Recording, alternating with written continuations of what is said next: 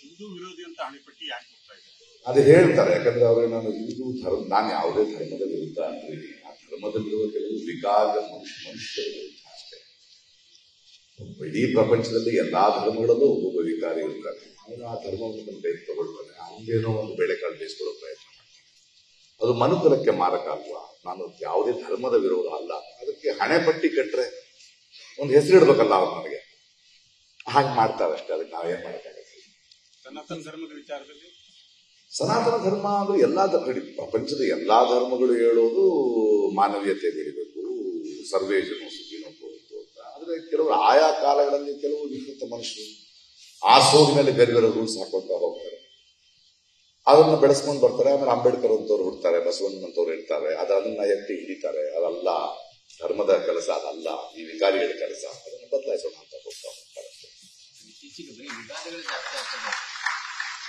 ವಿವಾದಗಳು ಯಾರು ಶುರು ಮಾಡ್ತಾರೆ ಅಂತ? ಅವ್ರಿಗೆ ಇಷ್ಟ ಇದ್ರೆ ಅವ್ರು ಶುರು ಮಾಡ್ತಾರೆ ಅಷ್ಟೇ ಅಲ್ವಾ?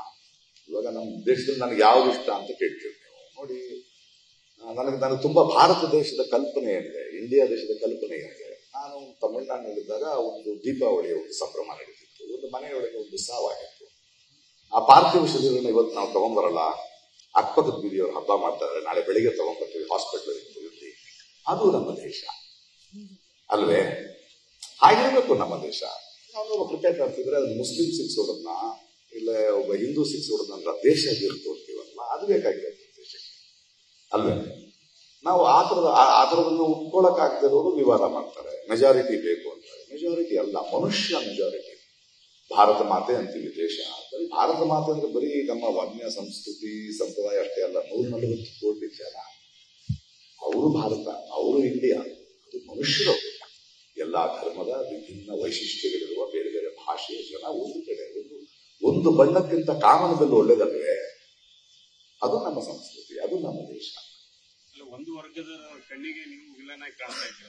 ಹೌದು ಒಂದು ವರ್ಗದವರು ವಿಲನ್ ಆದಾಗ ನಾನು ಅವ್ರ ವಿಲನ್ ಆಗಿರಬೇಕಪ್ಪ ಸಿನಿಮಾದಲ್ಲಿ ಒಂದು ಪ್ರಕಾರ ನೀವು ವಿಲನ್ ಹೀರೋ ವಿಲನ್ ಅಂತ. ನನ್ನ ಗರ್ಲ್ ಫ್ರೆಂಡ್ ನಾವು ಕೂರ್ಸಿದ್ರೆ ಅವನ್ ತಾನೆ ನನಗೆ ವಿಲನ್ ನಾನು ಹೀರೋ ಅಲ್ವಾ? ಅವರವರ ಭಾವಕ್ಕೆ ಅವರವರ ಪದ್ಧತಿಗೆ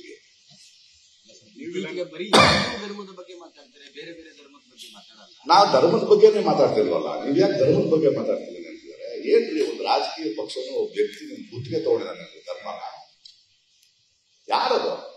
ಒಬ್ಬ ವ್ಯಕ್ತಿಯ ವಿರುದ್ಧ ಒಂದು ಪಕ್ಷದ ವಿರುದ್ಧ ಕೆಲವು ವಿಕಾರ ಮನುಷ್ಯರ ವಿರುದ್ಧ ಮಾತಾಡ್ತಾರೆ ಧರ್ಮದ ವಿರುದ್ಧ ಮಾತಾಡ್ತಕ್ಕೇನೆ ಮಾನವ ಧರ್ಮಕ್ಕೆ ಎದುರಾಗಿರೋ ವಿರುದ್ಧ ಮಾತಾಡ್ತಾ ಇದೀವಿ ಅದು ನನಗೆ ಕಲಿಸ್ಕೊಟ್ಟಿದ್ದು ಅಂಬೇಡ್ಕರ್. ಅದು ನನಗೆ ಕಲಿಸ್ಕೊಟ್ಟಿದ್ದು ಬಸವಣ್ಣ. ಅಂದ್ರೆ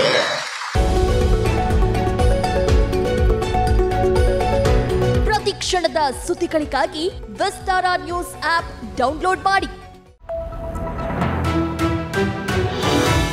ವಿಸ್ತಾರ ನ್ಯೂಸ್ ನಿಖರ ಜನಪರ.